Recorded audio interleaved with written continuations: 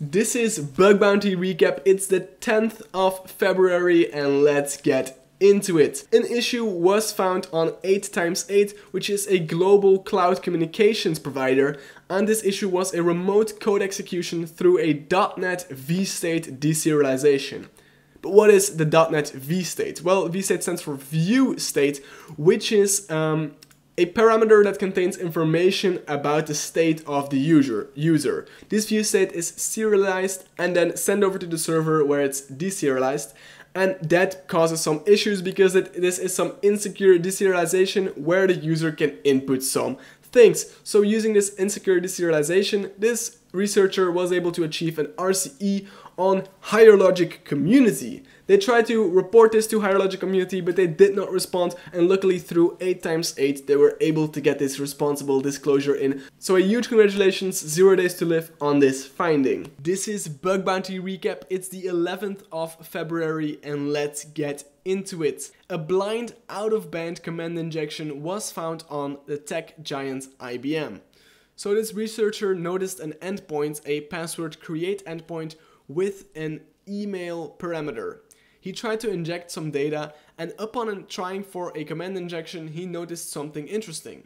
So he sent a request that had two pipe characters followed by a ping command that would take 10 seconds and he noticed that that request indeed took 10 seconds. These two pipe characters in Windows mean that if the previous command fails, then execute the second one, and that is what happened in this case, so a huge congratulations smoking aces for this finding. This is Bug Bounty Recap, it's the 12th of February, and let's get into it. An IDOR vulnerability was found on Acronis. Now Acronis is a cyber protection solutions company and they have a website devicelock.com. Now on that website they have a support and you can create support tickets.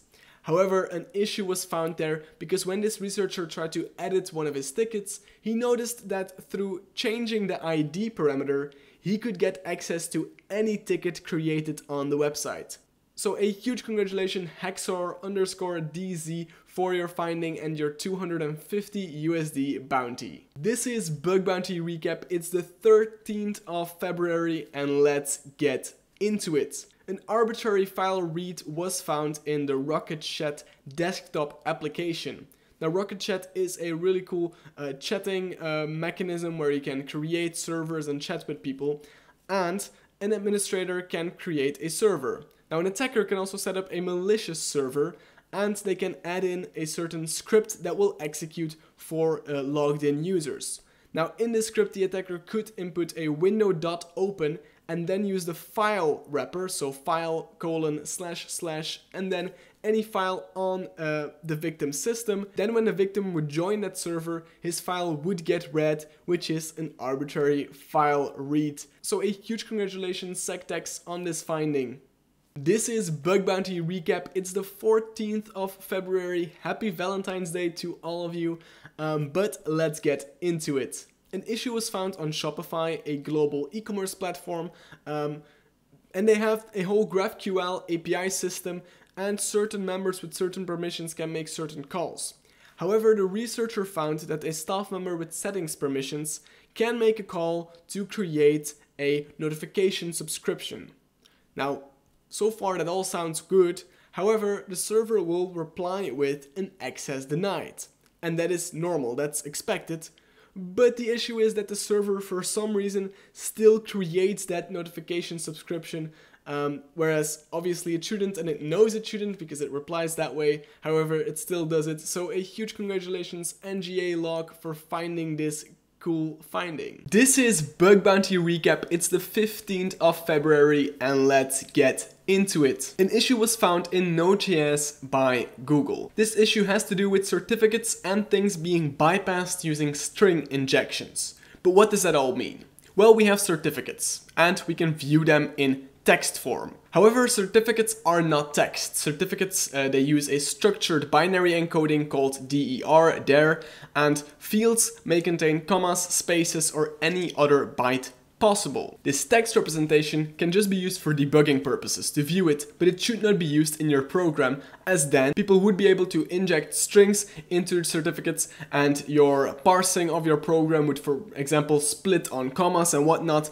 and that would cause a lot of issues and Google found that in Node.js this text representation was being used for for example verifying the identity of a server which is not good and that's why they reported it to Node.js. This is Bug Bounty Recap, it's the 16th of February and let's get into it.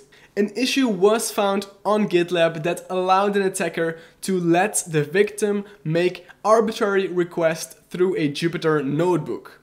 Now Jupyter Notebook allows a rich output via HTML and that is sanitized by GitLab, which is great. However, their sanitization does not remove data dash attributes. And using a jQuery-u.js gadget, this researcher was able to let the victim make arbitrary requests, which could include changing the attacker's permission on that GitLab instance, which is an issue that iWiz got a 1500 USD bounty for, so a huge congratulations.